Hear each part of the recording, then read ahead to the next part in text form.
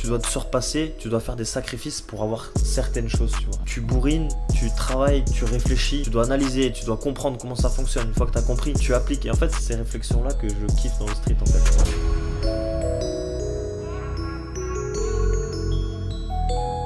Salut Dylan, Salut Matt, comment ça va? Ça va et toi? Moi, ça va nickel. Ça va super. Euh, T'es le sixième intervenant de ce podcast, donc je te remercie de participer. Ah, bah, c'est un plaisir. C'est super cool. Alors on va commencer avec des petites questions, tranquillement, et après on va rentrer un peu plus dans le sujet. Ça marche, vas-y, go. Vas-y, on commence. Ouais. Alors euh, Dylan, t'as quel âge? J'ai 24 ans. Ok. Et euh, tu viens d'où? Je viens de Dunkerque. C'est dans le nord de la France. Je pense que les gens connaissent Dunkerque, ouais. Ouais, mais je précise, je précise. Et tu fais quoi dans la vie? Euh, moi, je suis menuisier. Je fais de la menuiserie, je fais tout ce qui est fenêtre et tout. Donc, euh, je porte toute la journée et tout. C'est cool. Ok. Pas trop physique après pour le training? Euh, pff, des fois, c'est dur, des fois. Bah, ça dépend des journées en fait. Des Ouais. fois, c'est dur, des fois, ça l'est moins. Ça dépend, ouais. Et euh, t'as découvert euh, le street workout en quelle année? En quelle année t'as commencé le street? Ouf. En vrai, je pourrais pas te dire, c'était il y a 7 ou 8 ans, je pense. hein. Ouais. J'ai découvert le street comme ça. C'était. J'ai découvert avec les Bar Brothers, moi. Ah ouais? Ouais, j'ai Je découvert pense qu'on a ça. commencé à peu près en même temps. Ouais, ben. Moi, moi, ouais, c'était, c'est à peu près au même, au Moi je pense que c'était vers 2013-2014. Ouais, bah moi, c'était un délire dans ce genre aussi. Ouais. 2013-2014. Non, 2012. Ah ouais, C'était en- 2012 toi carrément. 2012, ouais. Ok, donc t'es vraiment un ancien du street. Ouais. quoi. C'était en 2012, je m'en rappelle bien. ouais. Ok. Euh, c'est quoi ta spécialité dans le street workout? Euh, spécialité. euh, Qu'est-ce que tu préfères? T'es plus euh, statique, agilité, set and reps Bah, j'aime Ou bien. alors euh, les deux freestyle? Bah, en fait, ouais, j'aime bien le statique. Euh, bah, je dirais les deux parce qu'en fait, le statique, il y a un truc que t'as pas dans le freestyle, tu vois. Freestyle, ça te fait lâcher un peu tout, tu vois. Ouais. Tu fais du freestyle, tu le, ton cerveau il s'éteint et tu t'envoies, tu vois. Et tandis que le statique, t'es en mode genre plus concentré sur tes mouvements. Enfin, Ok, c'est pas le même genre de, tra- Ouais, c'est pas le même travail, quoi. en fait. Euh, J'aime bien les, j'aime bien les, les deux en fait. Ok. Et est-ce que euh, tu fais de la compétition? Est-ce que tu en as fait? euh, avant et est-ce que tu, tu, tu veux continuer à en faire? Ouais, je fais de la compète. En vrai, je kiffe la compète, et- mais là, on peut pas avec le, le Covid Ouais, et tout. forcément. ouais. ouais. Et J'ai envie de continuer, j'ai envie de vraiment d'aller dans des vraiment grosses compètes en fait. Vraiment aff- affronter le l'élite quoi. L'élite, J'ai envie d'affronter l'élite. les, les pépites du, Ouais. du street workout. Je veux du défi là. Ok. Donc on va rentrer un peu plus dans le sujet maintenant. Euh, alors, euh, qu'est-ce que tu aimes dans ce sport? Euh, Pourquoi tu as commencé le street workout et surtout pourquoi tu continues aujourd'hui? Ouf. En fait, en- au début, j'ai commencé. euh, En fait, c'est, une vieille histoire. C'était en fait mon cousin. On coupait du bois chez mon cousin. Ouais. Il pleuvait. Et en fait, euh, ma tata, elle fait ben les garçons rentraient. Il y avait mon frère euh, Lucas du coup avec moi. Et on rentre et tout chez mon cousin. Ma tata, elle fait ouais, enlevez vos vêtements, je vais les mettre à sécher au sèche-linge. Donc on enlève nos vêtements. Bah, euh, moi j'étais tout caisse. Et mon cousin il se met, mais il faisait de la salle lui. Et il était trop stocké. Du coup, en fait, ça m'a chauffé. Je me suis dit, ouais, avec mon frère, avec Lucas, du coup, on s'est chauffé. On a dit, ouais, viens, on fait un peu de sport. Sauf que mon père, moi, pouvait pas m'inscrire à la salle. Du coup, en fait, j'ai fait mes recherches sur internet. Ok. Et en fait, je suis tombé sur Bar Brother. Et en fait, c'est comme ça que j'ai découvert le, le- le street, en fait. Ouais. J'ai découvert comme ça. Et en fait, j'étais chaud parce que je voulais juste changer physiquement. Ok. J'ai changé, j'ai commencé à changer physiquement. Ça m'a pris deux ans. J'ai fait deux ans où j'ai fait beaucoup de set and rep. Ok. Euh, abdos, pompes, Ok, traction. donc tous c'est les- ça qui t'a formé quoi. Voilà, les... j'ai commencé par les, les trucs de base, les muscle up, ensuite euh, drapeau. J'ai commencé à connaître les figures comme ça. Et après, il y a eu la première compète de street workout en 2013, peut-être 2014, avec euh, Vladimir Zadkov, euh, Ouais. Anton Abbasov, tous les. Ouais. Euh, Stick, je crois, comment il s'appelle Si, c'est ça. Euh, Stepik, euh, Dejan ouais, c'est ça, ouais. Il y avait ces mecs-là, et en fait, j'ai vu la compète, et en fait, ça m'a chauffé à faire des C'est quoi Ah ouais, c'était la, la World Cup. Ouais, la World ça, Cup, ouais. hein Et en fait, en 2013, gros, euh, ben.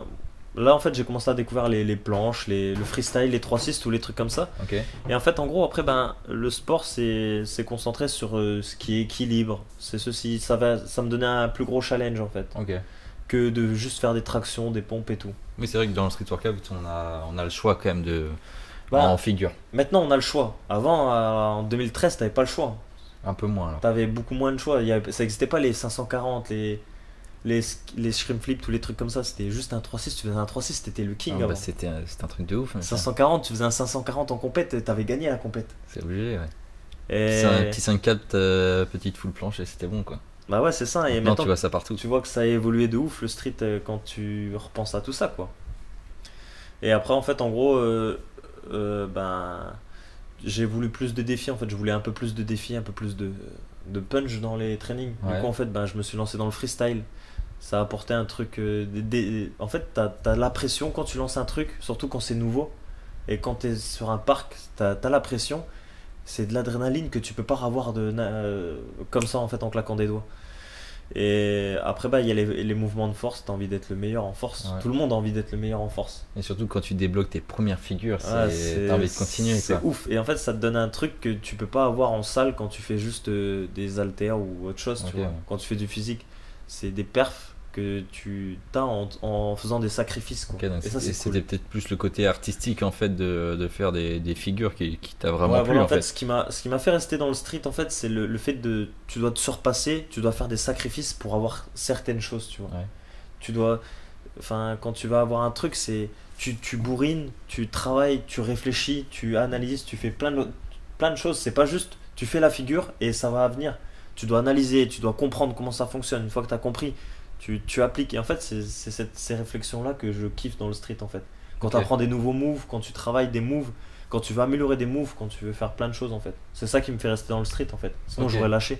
Puis les, les compètes, il y a le challenge derrière. Ouais, en fait. puis c'est en plus, euh, on va dire que c'est encore le, le, le commencement de ce sport, tu vois, c'est assez récent, on va dire que ça a 10 ans, tu vois, Ouais. et on découvre euh, tous les ans des nouvelles figures, tu vois. Et et- et c'est ça qui te motive, c'est que tu, hop, t'as un challenge, après t'en as un autre, t'en as un autre, t'en as un autre. Euh, les combos sont de plus en plus lourds, les figures aussi, Euh, même en statique, c'est de plus en plus lourd. Enfin, moi aussi, tu vois, c'est ça qui me fait rester dans le street workout, c'est qu'en fait, euh, c'est jamais fini, tu vois. Il y a toujours, tu, tu peux toujours progresser en fait. Ouais, toujours. Tu peux pas, en fait, si tu stagnes, c'est parce que tu le veux en fait.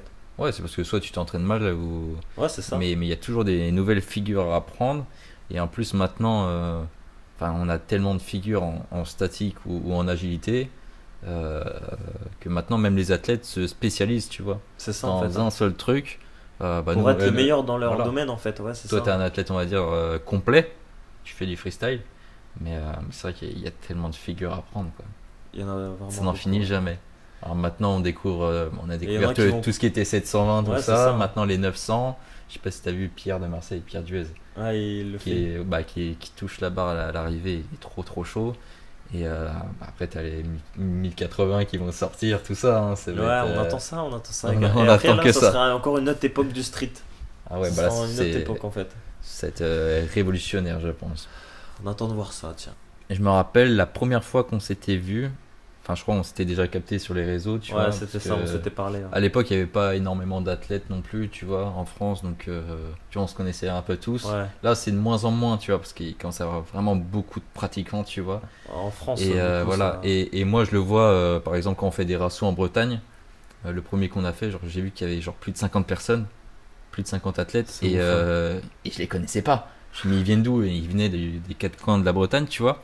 Et il y en a de plus en plus. Je vais sur Paris, euh, chaque jour je rencontre des nouvelles personnes, tu vois. Il y a toujours de plus en plus de pratiquants, alors que nous à l'époque, tu vois, quand on a commencé, il y a quoi, il y a, il y a 7 ans, Trois ou quatre personnes, il y avait. encore. voilà, non, mais il n'y en avait pas énormément, du coup Ouais. on se connaissait tous.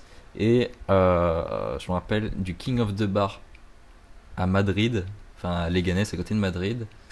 C'était en, quelle année- en quelle année? 2016 2015, 2016, un truc dans Attends, non, euh, 2015 je faisais le FIBO moi, à Cologne. Du coup, elle. euh, 2014, la- non, non, la- 2015, l'année après, 2016, gros. 2016, ok, 2016. 2016. Je me rappelle que t'étais là. T'étais venu avec ton frère ou t'étais venu tout seul? J'étais venu tout seul, moi. En fait, en gros, venu euh, comment? J'étais venu en avion. J'avais rejoint Eric parce qu'à l'époque, j'étais dans, dans SBL avec Ouais. Eric. Et j'avais rejoint Eric. Et sauf que je dormais pas euh, au même endroit qu'Eric. Lui, il dormait chez Jordan. Et moi, je dormais à- dans une auberge avec des Espagnols, en fait. Ok. Et moi, je me rappelle de cette compète aussi. On s'était vu le, le, bah, à l'auberge, je crois. C'était à l'auberge qu'on s'était croisés. Gros, je sais même plus. le jour- Ah, C'était le jour de ah ouais, la compétition. Cette auberge, mec. Au matin. Oh, ouais, c'était au matin. vrai. On avait été ensemble à la compétition. Et moi, c'était ma deuxième compétition ce jour. Ta deuxième compète Ma deuxième. Ma première, c'était à Béthune. Je suis arrivé. Ok, euh, ouais, à Béthune, ouais. J'ai fait une sixième ou une septième place. Ah, je me rappelle de cette vidéo-là sur YouTube, elle a fait beaucoup de vues, je me rappelle. C'était les Wolf Bar Ouais, ils qui étaient ont venus, fait la, la vidéo. Qui ont monté la Ok, vidéo. donc et c'était ta deuxième compète. hein, Parce que moi, avant, j'avais fait quand même euh, une, deux, trois, quatre, euh, peut-être plus de cinq compètes, tu vois. Donc moi je me rappelle de cette compète là. J'étais assez à l'aise parce que j'ai, en vrai j'ai- j'aime bien l'Espagne. J'étais déjà allé faire un Battle of the Bar, Ouais. genre un an avant, en 2015. Et là je me sentais trop bien. En plus tu vois le, le spot c'était un des meilleurs de Madrid à l'époque. Tu vois, c'est les bars C'était le, là. c'était le meilleur. Je pense que c'était le meilleur. le, c'était le meilleur parc dans lequel j'étais allé, sur le sable et tout. Ah, c'était vraiment un truc de fou. Et je me rappelle que du coup, il y avait combien de Français? On était 5. Donc il y avait moi, toi, il y avait Johan, enfin, euh, ça, Sangohan, ouais. euh, mon frère et euh, Biswan. Donc euh, C'est ça, on était ouais. trois de ma team de, de, de Bretagne, de, de Rennes. Et, euh, putain, moi j'avais battu le Roger. Donc, Oh, ouais. donc, attends, il avait, il avait gagné la compétition Roger.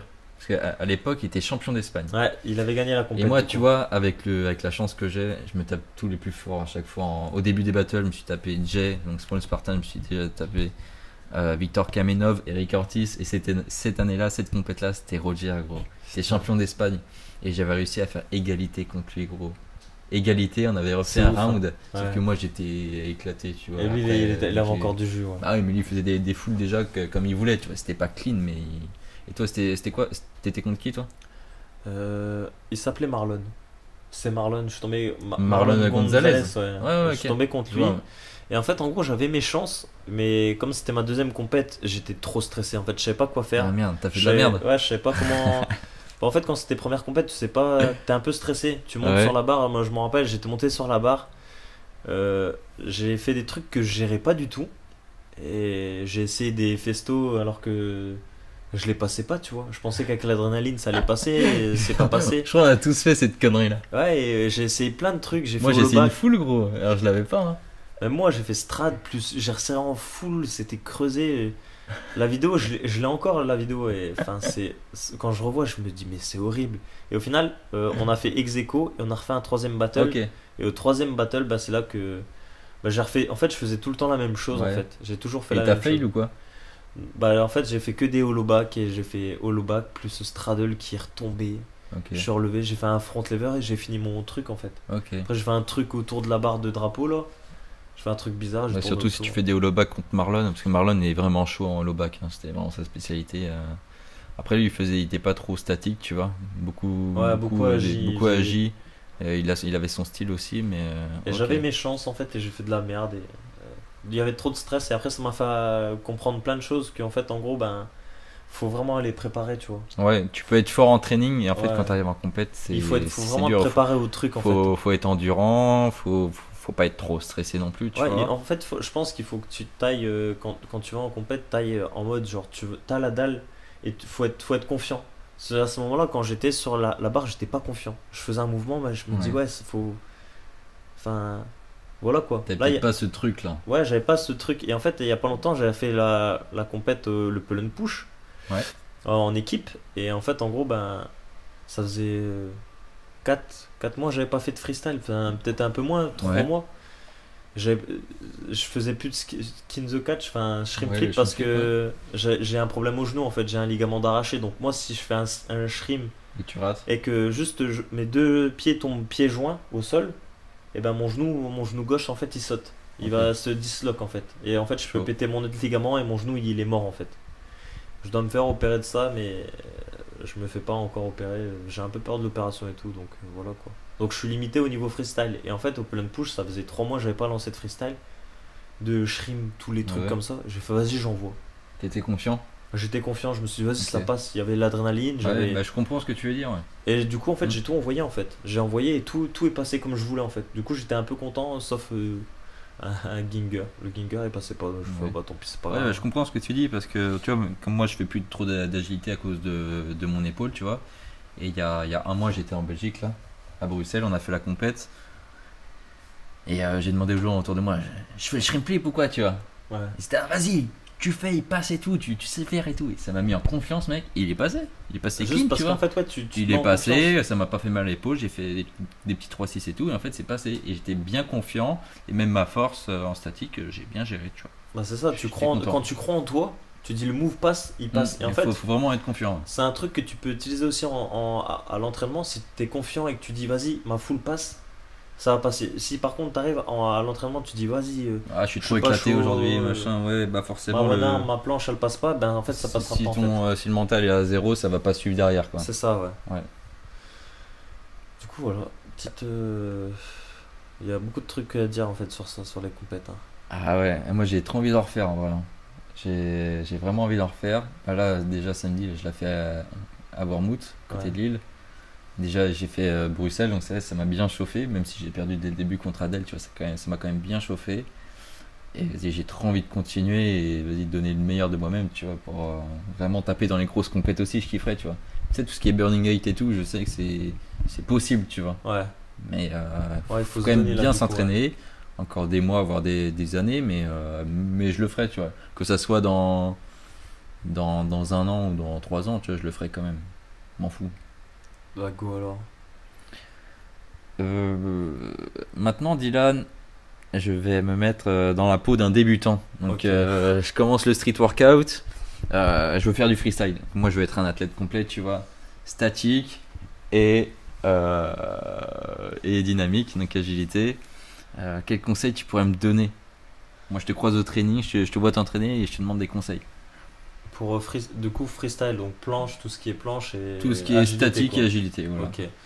Bah, déjà, euh, moi je dirais que d'abord il faudra faire, euh, faut faire les basiques en fait. Pour moi, c'est. Et c'est qu'est-ce que tu parles dans les basiques? Basique, qu'est-ce que tu veux c'est genre euh, traction, passe au moins des muscle up parce Ouais. que ça va te servir, ou même des bascules, ça va te servir dans l'agilité. Donc tout ce qui est traction, tout ce qui est dips. C'était une reps un peu pour commencer, reps, pour se renforcer. Ouais. Pour moi, c'est c'est le mieux à faire parce que tu peux pas arriver en mode genre zéro force. Euh, tu sais pas faire de bascule, tu sais pas te faire de, de, de balancer, ça s'apprend. hein. Tu peux l'apprendre, mais si tu sais pas faire ça, euh, c'est les trucs à apprendre de base. Et tout le monde le néglige. Les bascules, les balancers. Les balancer, c'est bête, mais c'est ce qui va te donner l'élan dans tes 3-6. Au final, t'apprends, euh, enfin, apprendre ça, les, les, Apprendre, basiques. les en bases, fait. ouais. Et une fois que tu as les basiques, bah là, commence à travailler mouvement par mouvement. Parce qu'en fait, maintenant, le problème de notre génération de maintenant, c'est qu'ils veulent tout en- avoir vite, en fait, en claquant des doigts. Ouais. Et ils brûlent trop d'étapes. Et en fait, ben, c'est comme ça que tu, tu te blesses. C'est comme ça que. En fait, euh, par exemple, un truc con, euh, tu veux, les, les gens, et tout le monde veut la foule. Ben, Ouais. Ils oublient les, les, les étapes. Une tug, c'est une étape. Une straddle, c'est une étape. Ils oublient tout ça. Et au final, ils le font pas. Ils font pas de renfort derrière. Donc, euh, pas de dips, pas de ceci, pas de cela. Pas d'exercice spécifique pour tout ça. Ils lancent bêtement. Parce que euh, des gens, enfin certaines personnes font des, des tutoriels. euh, et franchement, des fois sur internet, tu regardes, tu mets tuto planche ou tuto front, des Mhm. tutos à l'arrache. C'est vas-y, fais de la tuck. Ouais, c'est peut-être pas assez travaillé, quoi, C'est- ces, il y a- ces tutos-là. Il y a certains, pas tous, mais il y a Ouais. certains tutos euh, très peu travaillés que des gens bombardent sur le net et on- les, les gens suivent euh, bêtement, tu vois. D'accord. Donc moi, pour moi, les, les- les basiques, ça serait du set and rep. Et apprendre, après, si tu on- si tu veux apprendre la J, ben, c'est les, les trucs basiques sur barre. Avoir un peu une bascule, ça serait cool. Mhm. Débalancer. Et après, en force, ben, tout ce qui est dips, traction et tout, Étape ça par étape, cool hein, étape par Étape étape. par ok, étape. donc toi tu conseilles vraiment de euh, d'apprendre les bases pour, euh, pour se renforcer en fait. C'est ça, en fait. hein. Et éviter, éviter la blessure, parce que c'est vrai qu'on n'en parle pas assez souvent. Euh, mais éviter la blessure, ouais, en commençant. Et nous, de toute façon, nous, on a commencé comme ça parce que on n'avait pas, euh, non, si on n'avait pas Instagram, on n'avait pas tout- toutes ces vidéos qui nous montrent euh, pas. les, les gros combos, les 720 et tout, en fait. Du coup, on, on a été un peu obligé de commencer par. tu bah, lances par les bases, tu penses, tu en vois. fait. Bah, moi, j'ai quand même hein. commencé par les, par les bases, tu vois. Ah, Moi, pareil. Pendant deux ans, j'ai fait du set and rep. ouais, voilà. ans. Donc c'est ça Ah qui les a euh, renforcés. C'est ça, hein. on avait une bonne base. Après, euh, il y a des trucs à savoir quand même, tu vois. Genre, euh, par exemple, quand tu fais des planches, ben, faut faire gaffe, il y a, y a une position au poignet à adopter, tu vois, Mhm. parce que tu peux te le blesser. Moi, combien de fois j'ai eu des tendinites au niveau du pouce et de mon avant-bras, en fait? C'est vrai. Et t'es pas le seul. Il y en a, plein, et maintenant, ben, le- les, les- les gens de maintenant, ils l'ont plus parce qu'on on leur apprend nos connaissances, en fait. Et c'est pour Ok. ça, c'est des étapes à pas brûler, parce que si tu les brûles, ben, c'est fini pour Mhm. toi. Ça, tu vas te blesser, tu vas te démotiver, tu vas dire, bah, en fait, le sport, il est nul. Et au final, 'fin, tu, tu comprends pas, en fait. Ok. Donc, euh, et ne pas hésiter aussi à demander des conseils quand vous allez euh, sur des spots et tout. Enfin, attendez que les gars finissent de s'entraîner pour Ouais. pas les déranger pendant leur training, parce que ça, c'est aussi un, un petit, un petit problème. Mais attendez qu'ils finissent de s'entraîner et n'hésitez pas à aller les voir pour leur demander des, des conseils. De toute façon, euh, enfin, nous, tout ce qu'on veut, c'est faire apprendre aux gens aussi. Donc, voilà. Et n'hésitez pas à envoyer aussi des messages sur Instagram. Si les gens ont le temps de vous, vous répondre, ils vont vous répondre et vous donner des, des conseils. Alors maintenant, Dylan, est-ce que tu aurais 5 comptes Instagram à nous conseiller euh, que toi tu suis et que, que tu aimes bien? Alors, en premier, bah, je dirais Daylong. C'est donc euh, une base. de la team euh, Outsiders. C'est ça. C'est franchement ce mec, c'est une base. Ensuite, bah, je dirais Valentin. Valentin. OTZ. Pourquoi? Dans son domaine, enfin, il y a, y a pas mieux en fait. Daylong, en fait, tu vois, Daylong, je dirais en maltaise, c'est l'un des meilleurs au monde. Ouais. Parce que on en, on en parlait tout à l'heure en, en off. Ouais. Euh, Kamenov, euh, il a eu sa période où il, a, il est monté. Il a réussi tout ce qu'il a, il a voulu, euh, enfin tout ce qu'il voulait, il l'a eu en fait dans le street. Ouais. Il a eu un bête de niveau et peut-être il l'a toujours, tu vois. Et il s'entraîne moins à cause de ses études. Du coup, ben, pour l'instant, il, il poste plus. Des longues, Ok. enfin pour moi, c'est l'un des meilleurs au monde en Des, Lions, il est encore jeune en plus et, et il, Il peut, a du il, peut en- il peut encore grimper quoi. Valentin, c'est pareil dans son domaine en planche, tu, en- ce qui est mondial, enfin, il est très loin, loin. Ouais. Et euh, en plus de ça, euh, il, enseigne C'est en ça, plus, hein. En euh, plus- tout ce qu'il a appris pendant toutes ces années. Parce que bah. Val- Valentin, ça fait aussi enfin, Valentin, ça fait aussi long- longtemps qu'on qu'on le connaît, tu vois. Moi, j'avais fait le Freestyle Survivor, je crois, 2015, je crois, il était là. Donc tu vois, et il planchait déjà, il planchait déjà. Il est, Et, euh, et c'est vrai qu'après toutes ces années, il a corrigé ses formes, il, il a su comment progresser, il a tellement progressé. il a, Et maintenant, il, il, il sait comment, euh, comment apprendre ça aux gens. c'est ça, il a juste analysé, il a compris et Il a testé, surtout, il a testé, il, a s'est beaucoup testé. entraîné. Et après, il a, il, il a, quand il a compris, il a enseigné en fait ce- cette chose. Il a pas enseigné bêtement en disant bah fais comme ça, fais comme ça. Mm. Il a compris les choses, il savait que ça, ça marchait. Bah, il a approfondi les choses, on va Et dire. il a, il a essayé sur euh, des personnes, le, le- sa technique marchait et maintenant, ben voilà quoi. Ensuite, en troisième compte, je dirais euh, Onizuka. Ok, Ryan. En front, il est. Ce mec est magique. Il est monstrueux. Moi, j'ai vu sa progression. euh, Enfin, ça m'a trop, tellement étonné. Ce mec avec un biceps arraché, Et mec, ça il, motive baise le, tellement. il baise le monde. Il baise le game. Parce qu'en fait, faut- enfin, on oublie souvent, on dit ouais, le meilleur c'est lui, c'est lui, c'est lui. Mais ce mec, il a un biceps arraché. Euh, il dit pas forcément, mais mec, après ça, t'as quand même des douleurs. Le mec, Ouais. il, il maltesse, il. il- 20 Vito sur Anno, n'oublie pas. Vito Anno, enfin, ce mec est loin en fait. Et on se rend pas compte de, de- Ouais. de- du potentiel en N'hésitez fait. pas à aller le suivre, euh, franchement, gros niveau et ça inspire beaucoup parce que c'est vrai qu'il vient de loin lui aussi. Et euh, de voir une grosse progression comme ça, c'est impressionnant et c'est vraiment, vraiment motivant. Moi, ça va- ça m'a vraiment motivé euh, à taffer le front, tu vois. C'est pour ça de- depuis, moi, je kiffe le front, tu vois. C'est quand j'ai vu sa progression à lui et Ilyes aussi, tu vois. Ouais, il, il- il est chaud. Pour moi, Onizuka en front, c'est Ouais. Ah bah, c'est. Il est dans le c'est- top c'est- monde. C'est c'est le master. top monde. Ensuite, en freestyle, enfin, moi je dirais que des Français, tu vois. euh, Ouais, ouais, ok. étrangers, donc euh, en freestyle, je dirais euh, c'est Ali. Ali. Ali, ouais. Ali, euh, je crois son Insta, c'est Ali Street Workout. Ali Street Workout. Pour moi, en, en Agi, il est loin. Il est Mm. trop loin. En, en français, c'est l'un des meilleurs. Ouais, c'est vrai qu'il il progresse bien aussi et, et il nous surprend de jour en jour quoi. Et maintenant euh, donc le 720 euh, je crois que ça a été un des premiers français à sortir c'est ça. hein. et, euh, et maintenant le Dis- 10 Dislock Dislock 720 qui est, qui est putain est de beau. fluide sur la barre. il- le seul truc qui lui manque, je dirais, c'est de la force. Il manque de la force. Il manque de la force parce qu'en fait, tu vois, il, enfin, le mec s'envole quand il, je l'ai vu en vrai. Enfin, Il manque de la force et il, il pourrait, je sais qu'avec de l'acharnement du travail, il, il pourrait faire, Il pourrait euh, être il bon. pourrait full, il pourrait front pull-up, tout, tout ce que tu veux. Je sais qu'il peut le faire. Et euh, il serait ouais, top, euh, top Europe, euh, top monde, faire les grosses compètes freestyle quoi. Il pourrait être vraiment complet. c'est Mm. vrai. Et, Et en cinquième position, enfin position, un cinquième compte à conseiller. cinquième compte. Là, en vrai, en tête, après, je n'ai pas. Pour moi, c'est les quatre, ces quatre comptes-là m'ont- me sont mis en tête. Après, je pourrais te dire, euh, il y a, y a plein de comptes à suivre. hein. Il y en a tellement. Vas-y, mais si tu veux en, dire- en dire quelques-uns. Il y a. Je sais pas. En vrai, vrai bah a- en réfléchissant, il y en a tellement, tu vois. Ouais, parce que c'est euh, vrai qu'on a des, des bons athlètes en France. Il y a, quand il y a même. des bons athlètes et il y en a des fois ils sont ils ont pas beaucoup d'abonnés Ouais. ils méritent d'être vus. Ouais, il, manque de visibilité, je pense. Ouais, c'est ça. Ok, ça marche. Bah écoute, euh, Dylan, je te remercie pour, euh, pour ce podcast. Bah écoute, c'est un plaisir. C'est un plaisir. et euh, on vous souhaite un bon training et puis euh, à la prochaine. Bon training et à bientôt les gars. Ciao. Bisous.